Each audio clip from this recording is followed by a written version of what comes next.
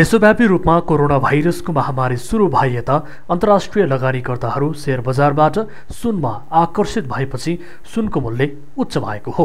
Lockdown सुरु हुनुभन्दा अघि फागुनमा सुन प्रति तोला अठहत्तर हजार पाँच सय रुपियाँ रहेको थियो।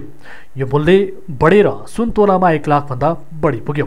विश्वका विभिन्न देशका केन्द्रीय बैङ्कहरूले पनि सुन मौजात राख्न थाले। अमेरिकी डलर भन्दा पनि सुनमा लगानी गर्न सुरक्षित महसुस गर्दै लगानीकर्ताहरू सुनमा आकर्षित भएको नेपाल सुनचाँदी व्यवसायी महासङ्घको अनुमान छ। लकडाउन हुनुभन्दा अघि चैत दस गते सुनको मूल्य प्रति तोला सतहत्तर हजार रुपियाँसम्म पुग्यो। लकडाउन हुनुभन्दा अघि चाँदी प्रति तोला सात सय बिस रुपियाँ रहेको थियो।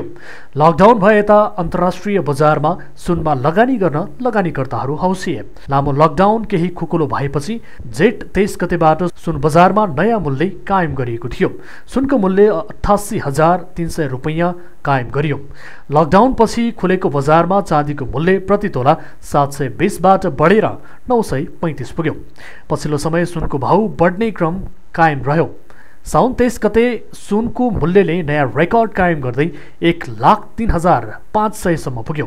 चाँदीको बढ्ने क्रम पनि रोकिएर साउन सत्ताइस गते चाँदीको मूल्य पन्ध्र सय साठीसम्म पुग्यो। चाँदीको मूल्यमा करिब अठासी प्रतिशतसम्मले बढेको व्यापारीहरू बताउँछन्। अमेरिकन डलरसँग नेपाली मुद्राको डिभ्यालुएसन हुँदाखेरि पनि त्यसले सुनको भाव बढाउनको लागि मुख्य भूमिका त्यसले पनि खेलेको छ।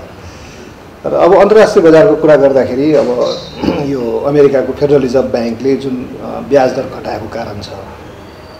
र मुख्यतः अब यो कोरोनाको एउटा जुन अहिले वर्ल्ड इकोनोमीमा यसले इम्प्याक्ट पारेको छ होइन? त्यसले पनि चाहिँ सुनको मूल्य वृद्धि गर्नको लागि ठुलो भूमिका खेलेको छ। लकडाउन हुनुभन्दा अघि फागुनमा सुनको प्रति तोला अठहत्तर हजार पाँच सय रुपियाँ।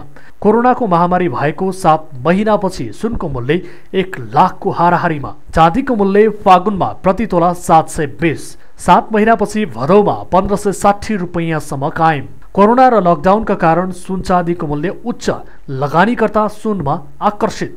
कोरोनाको महामारीमा सेयर र अन्य क्षेत्रका लगानीकर्ताहरू सुन सुरक्षित हुन्छ भन्दै सुनमा आकर्षित भएको देखिन्छ।